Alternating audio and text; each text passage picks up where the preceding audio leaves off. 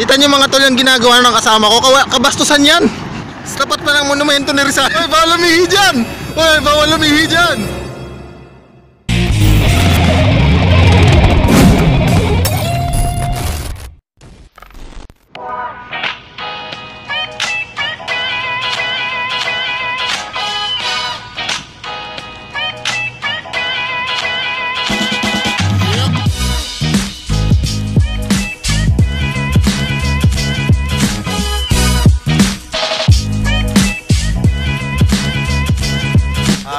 What's up mga tol? Nandito nga ako sa ano, sa Rizal Park ngayon at uh, minintay yung kaibigan.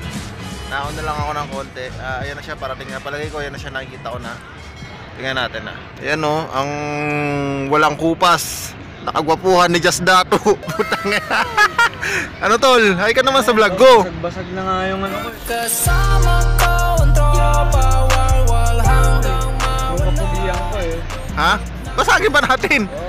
Ayan, yan mga tol. Siya yung kasama ko dito sa Rizal Park at maggagala lang kami dito. Anong hanapin natin dito, tol? Hanapin, True love mo? hanapin natin yung kaligayahan. Utang. Mawawala na naman kaligayahan ko. Hindi mo ba mahanap yung true love mo, tol? Hindi mo pa nahanap? Wala, wala. Forever siguro talaga. Ano yung usapan natin kanina, tol? Naalala mo? Ano ba yun? Mayroon kasi ako amnesia mula nung bumalik akong Pilipinas eh. Tol, ang usapan natin, kung sino mauna dito, ililibre ng pagkain. Ay sus puta pagkailan ba? Ayun oh, nakikita mo doon, tol. Kasi mga tol, nandito kami sa may tapat ng National Museum. Oo. Yan yung historical. Dito yung anthropology. So, ando ron yung mga kainan ng mga mami pares. Alam na ni Just Dato ang gagawin niya kasi na-late siya eh. Baka ako nagtataka kayo mga tol, sino tong tropa natin na to? Sino tong, sino tong hinayupak na to? Ano tol? Baka nagtataka kayo kung sino tong hinayupak na to. Bakit naman yung pula ay mata mo tol? Para mamukha Wag na, wag na tol. Kasi galing ako, de, actually talaga galing ako sa 24 hours na duty. Alam niyo naman, nagtatrabaho tayo ngayon as a transporter. Okay. Kung bago pa lang sa channel ko, Bal. malamang baka hindi nyo pa alam na dati akong OFW sa Riyadh, Saudi Arabia. Siya yung ano ko doon, katropa ko doon. So, yung mga lumang video ko, pwede nyong bisitahin yun. Tropa, Pwede tropa niyo na lang panoorin. talaga tingin niya sa akin dito ngayon, eh, no? At saka, kabrad ko pala to sa fraternity. Long live sa mga brand dyan. Tara. Ayun na nga mga tol, ililibre na ako ni Tol Just. Napasubo ka tol, tangina ko pa, hinamon mo kung sinong mas maagang dumating. Tinadya ko yun kasi kuripot to. Ha, Ayun, alam nyo na mga tol. So, dun yung ano, dun yung parisan dito. Hindi ko alam kung magkano. Ikaw na bahala dyan, Tol Just. Alam mo ba kinukuripit, kinu, kinukuripit, kinukuripit, kinu, kinukuripit, kinu, kinukuriputan ang isa pang kuripot. Just dato, mapera yan. Alam nyo naman yung mga lagayan niya, no? Meron ng belt bag, may backpack pa. So, mag-i-introduction. Ganda pa ng camera. Piece by piece you undress me Doesn't matter how far where we be Fuck that attire, baby Magalaw yung Ano, dito kami kakain ni Just Dato, mga tol. Sa arinderya ni ate. Sit, may itlog din. Pansit tsaka hotdog. Ikaw, magkakanin ka? Kahit anong tol, pansit na rin lang. Yan na tol, nilabas na ni Just Dato kung gaano siya kagalante. Nang libre ng pansit. Special recipe ni ate. Mga ka-adventure. Pinsan ko to kaya umutang kami dito. This ain't designer, no This ain't designer, baby This ain't designer, baby ba? Masarap ba yan? Ayun ang kain tol ha. Ikaw Ano mo kasi sarap. Ayun ang kain, ikaw magbabayad yun. Yung Kaya mga tol, ito yung palibre ni Just Dato na pagkain. Kasi nahuli siya sa usapan namin. Kaya ngayon yung the best time para mamasyal eh. Kasi maluwag. Tapos, ano talaga? Yes, tara, mamash. Oh, mag-enjoy tayo, mamasyal tayo. This ain't designer, baby Fuck that attire, baby This ain't designer, no This ain't designer Keep on locking eyes across the Ito po yung budget namin pang dalawang buwan na pagbablog. Historical places, o kung sa man lugar, kung ano yung knowledge lang na meron kami tungkol sa lugar na yun, hindi na namin, hindi na namin inaalam sa Copyright mga tol. Narinig nyo? Ayan, copyright, pero pa papatungan natin yan. Sino ba yung kumanta yan? Hindi ko alam eh. Ayun, pinagbababa lang kami ng kinain mga tol at marap- malapit na kami sa monumento ni Rizal. So kung mapapa, kung mapapansin nyo, napaka-konti lang ng ano ngayon dito ng tao kasi magpapasukan na ulit.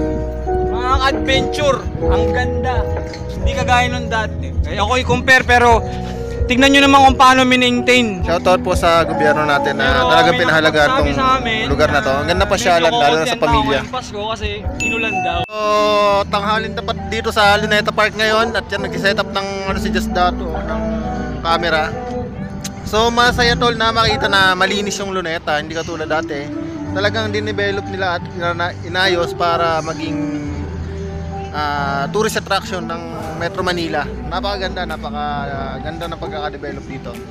Napakasarap pumasyal kasama yung pamilya, barkada o yung partner mo. Siguro ah, sa mga susunod na buwan, ah, kasama ko ang maging ako dito. Mamamasyal kami. Ganda tol. Mga nanguhuli pa ng hito dyan sa may ano, sa may tubig. Kita niyo si Kuya. oh. Hindi ko alam kung nakarami ng hito at dalag yun eh. B-roll natin mga tol. Let's go!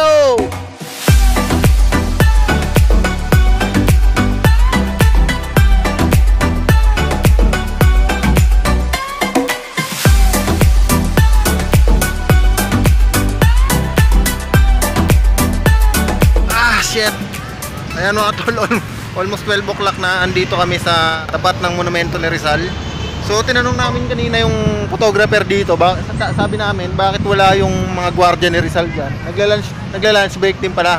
Kumain daw ng tanghalian, mamaya babalik. So ayun yung monumento ni Rizal at yung may isang building dyan, ay yung isang building na yun, yung tinatawag na photo bomber, yun yung na-issue dati na tinayo sa harapan ng view ng monumento ni Rizal na hindi maganda tingnan. Pero wala eh, nandiyan na yan, hindi na yan mat- matanggal.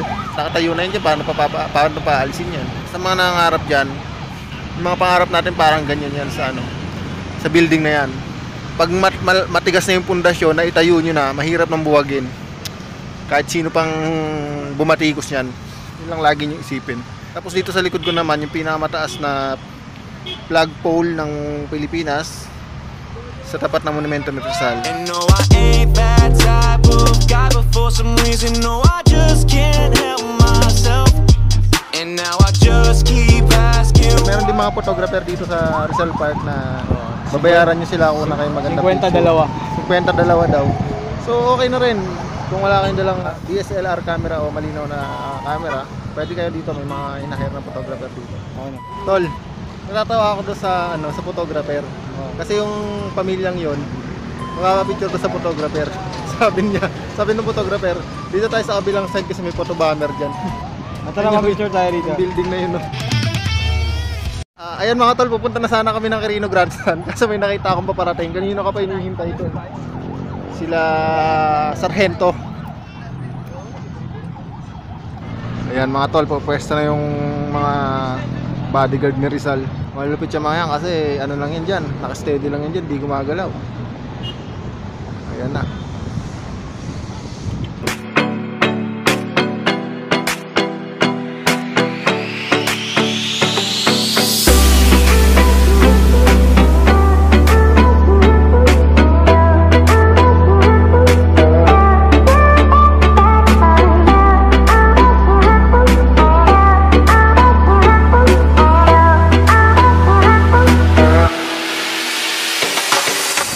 Kita niyo yan mga tol? Kita niyo mga tol yung ginagawa ng kasama ko? Kabastusan yan! Diyan pa umihi sa poste! Bawal umihi dyan! Diyan ka pa sa tapat ng monumento ni Rizal umihi! Hoy! Gago ka! Ay puta, nagka-camera pala. Tuloy mo lang tol. I'm vlogging your vlog. Okay, I'm vlogging your vlogging too. Isang request tol, tanggalin mo yung shades mo. Taas yung Morelo. Mainit to. Alam nyo uh, sa baby, bawal ang uh, yung bunbunan. Kasi yung bunbunan niya tol, masisikado ng araw. So ang daming pamilya dito, ayan o. Kita niyo yung mga pamilya dyan, nag, uh, nag uh, picnic-picnic sila. Ano ang ruta natin ngayon? Papunta naman tayo Intramuros, Manila. I just pulled a 2020 out, yes sir. I just did another video, yes sir. I'm just thankful right here, living in my purpose. Positive vibes trying to change the world. So nakikita niyo ba yun mga tol? Yan yung entrance ng Intramuros. Pagkagaling kayo dun sa may Rizal Park, o first stop natin, Puerto Real Garden dito. So dun, tara, tol, tingnan natin kung ano meron dun. Pasok tayo dito. Ano ba to? Ano? Montreal? Parang ano, Montreal? So tol, ganda ng outfit ni Kuya. oh. Selfie muna kami. Guardia Civilian. Ang angas oh. Ah, so ayun mga tol, nandito tayo sa loob ng Monterreal Garden. Napaka-old nung structure niya. Ayun kung makikita nyo, makaluma. Pero siguro, kaya mayroong ganito dito. Ayun, pwede pala kayong mag-venue ng event dito. Hindi ko lang, hindi lang namin sure kung magkano. Baka siguro mahal din dito. Monterreal Garden.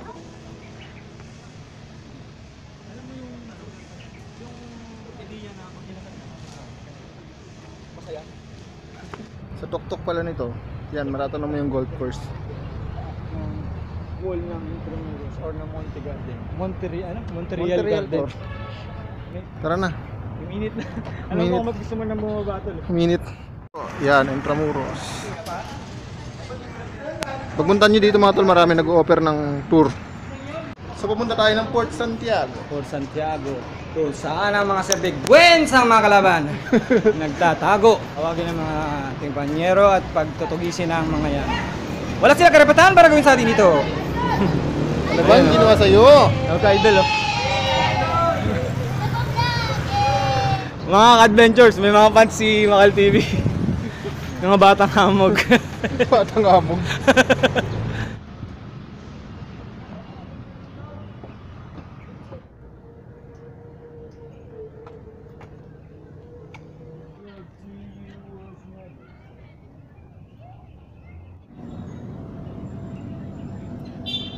So mga tol, ah first time ko lang mapunta dito sa lugar na to, dito sa gilid ng Intramuros, yung pader na mayroong mga daan ng tao.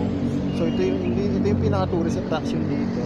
Marami naglalakad, maraming turista dito, mga foreigner, mga Pinoy. Maganda mga tol kasi merong mga yung makikita mo pa rin yung bakas ng ah, lumang struktura ng Pilipinas nung panahon ng Kastila. So kung makikita nyo dito, ayan, ah, ayun, ayun, at saka ayun.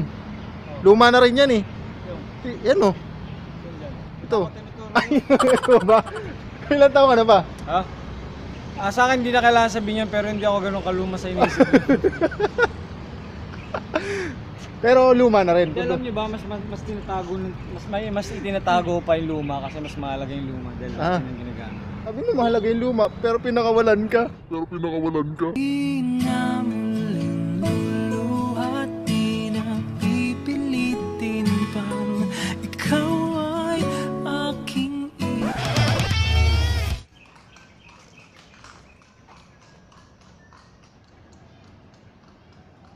unang panahon ng mga panahon panahon panahon pa ng makaluma. Oh. Itong mga gantong struktura ay hindi ginagamitan ng semento. Bagkus ay ginagamitan lang nila ng egg egg white. Bakit egg white? Egg white para tumigas, para maging parang buong-buong semento siya. At kaya kaya nauso yung leche plan. At kaya nauso ng leche, kaya nauso ang leche plan dahil nga ginagamit nila yung egg white, yung itlog, yung dilaw ng itlog ay ginagawang leche plan. Ngayon, alam mo na. Sige. No-comment ka? Ito parang di ka naniniwala. Gago! Ah, mga tol, wala na kami sa Intramuros. Nanggaling kami sa Intramuros dito sa kabila. So tawid tayo ng Jones Bridge, papunta ang Binondo. Tumanaw ka dyan sa tubig eh ano. Kahit tumalon, sample. Ano, tumanaw. Ah, tum kala ko tumalon eh. deep. I'ma need a second. Woo. All this liquor got me second guessing, yeah. Nine five shots deep, night one two. Ayan si Just Dato, oh. Kita mo, nagpali- nagpalibre ng mami. Thank you tol, napakabait mo talaga. Ikaw lang naman kasi talaga ano. Walang concern sa akin. Yun. Ah, napakalipit mo tol, nandibre ka pa. Ayos. Coming through late, homie sent a Addy, so you know I'm on the way. Pull up to the gate. Yayamanin. Yun mga tol, solve kami. Sarap nung ano dun, ano? Pares. Pares. Hindi, ma mami kanin siya eh. Pwede rin pares. ah, mami rice. Hindi na ganong marami yung water lily. At saka hindi na maalisangan yung amoy. Hindi na amoy kanal. So shoutout talaga sa malaking improvement ng Maynila. Sana tuloy-tuloy na to.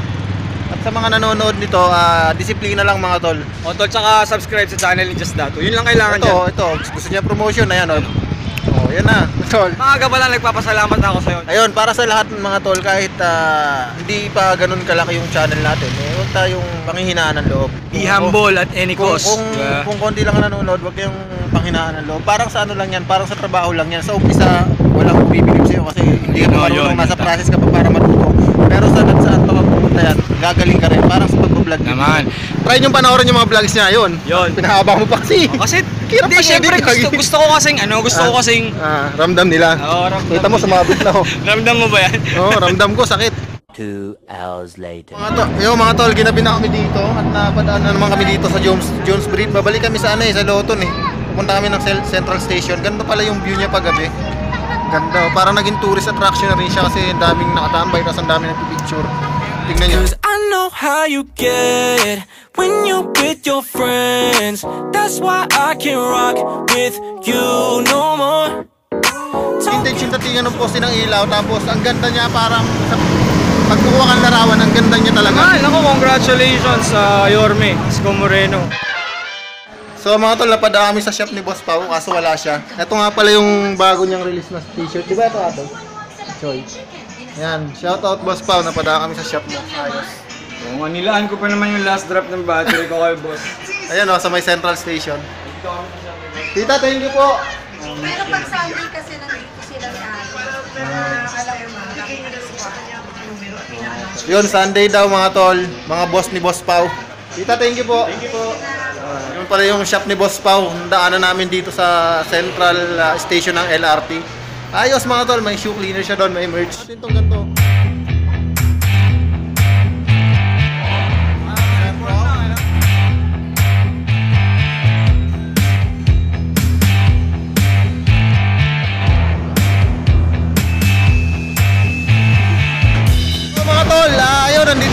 Sa Station. Ako, papunta na ako sa Bigutan, siya mag-MRT. So hanggang dito na lang siguro tong vlog na to. So salamat sa pagsama sa amin at ah, sana maulit-ulit yung pagkikita namin. Masarap ma sa pakiramdam na makasama yung kaibigan mo sa malayo.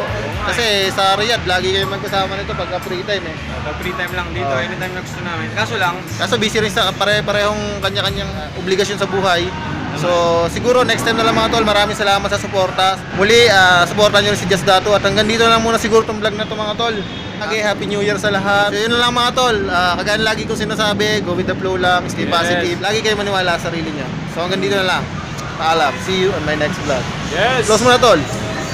Alright.